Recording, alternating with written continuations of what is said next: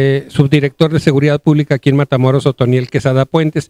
Eh, bueno, pues ha sido muy reiterativo el alcalde, el ingeniero Raúl Onofre, aquí en Matamoros, de pedirles a los elementos policíacos eh, brindar su mejor esfuerzo en favor de la ciudadanía, de quienes se deben de alguna manera, Otoniel. las indicaciones del señor presidente municipal han sido muy precisas. Nosotros somos de proximidad a la ciudadanía. Nosotros tenemos indicaciones de que el elemento que eh, comete alguna falta en contra de la ciudadanía, eh, tiene todas las facultades de que eh, nosotros también este, lo recibamos para, si hay alguna queja o inconformidad en contra de los elementos, nosotros vamos a proceder inmediatamente. Ha sido reiterativo la primera autoridad en, leerle la cartilla a los elementos policíacos de que deben de ser el amigo del ciudadano, no ser el represor, no ser el malo de la película. Sí, las, yo vuelvo, yo soy bueno, vuelvo a ser muy repetitivo, las indicaciones del alcalde son muy precisas. Aquí no vamos a, tolerar a la gente, a nuestros elementos, ¿verdad? que abusen eh, de la ciudadanía. Eh, prueba de ello que ya hemos dado de baja eh, bastantes elementos por esa situación. Exactamente, y bueno, pues esta administración que encabeza el ingeniero Raúl Onofre, con cuántos elementos recibió y bueno, pues cuántos elementos están en activo para brindar seguridad a los habitantes de esta población. Al inicio de la administración del ingeniero Nofre, nosotros recibimos 35 elementos operativos.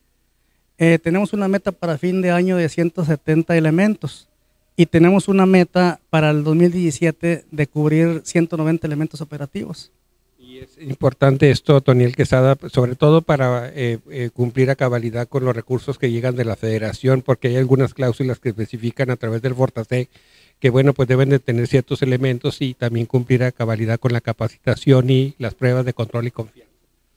Eh, bueno, yo quiero decirles a, los elementos que, están ahorita en activo, ¿verdad? de que eh, nosotros vamos a, seguir fortaleciendo la seguridad aquí en el municipio de Matamoros.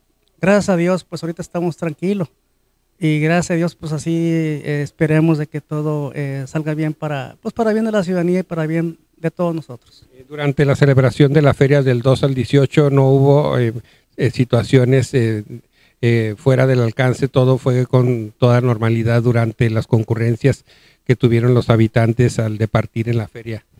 Pues gracias a Dios terminamos la feria del algodón y la sandía. de la sandía, este, pues salimos con, con saldo blanco sí, sí tuvimos este, bastante, este, bastante gente que nos apoyó. Tuvimos muy buena respuesta. Eh, lo vuelvo a decir, gracias a Dios salió todo bien. Canal 2, Fernando